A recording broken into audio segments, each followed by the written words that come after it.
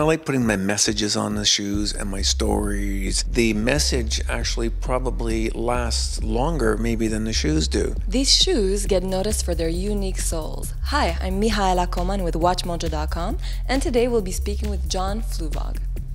Fluevogs is it like it means lots of different things. It's it's the shoe, it's a style, it's a feeling, and it's an emotion. So it's all of those things. It's not just a shoe, I think. And what type of person would you say wears those shoes? Mostly the thinking people or artistic people. Maybe they're in graphic arts, maybe they're in education, even in the entertainment industry. But really everything. You can be a secretary and be into Fluevogs and wear them. If you wear them, you'll get compliments. You'll get people noticing you. Yeah, for sure. In your opinion, what are shoes to an outfit?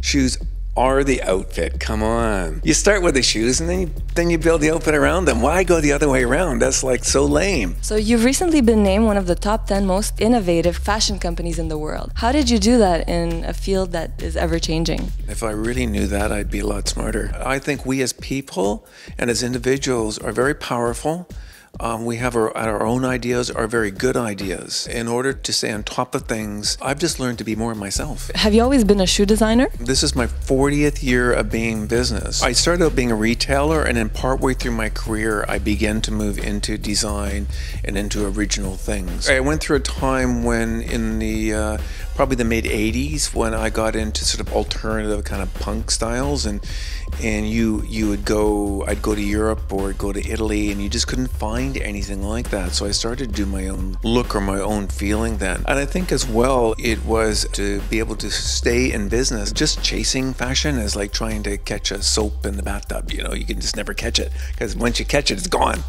So I like the idea of being a little further ahead and thinking further ahead. Yeah. So when you design your shoes, what is more important, the look or the comfort level? I have to admit, it's more the for me. I start with the look.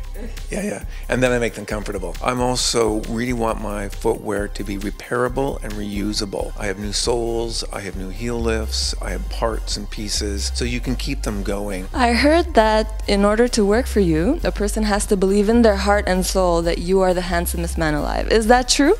Absolutely. It's a little box I have to check off. Wow. No, that's just a story. No. But if they think it, it's good, huh? I think the most important thing to me in my business is to have good energy around me and good people. If I see people saying bad things about somebody else or backbiting in my office or negative things happening, uh, unloving things, I stop it. It's really important to me. Well, thank you very much. It was a pleasure speaking with you. It's been great. Thank you.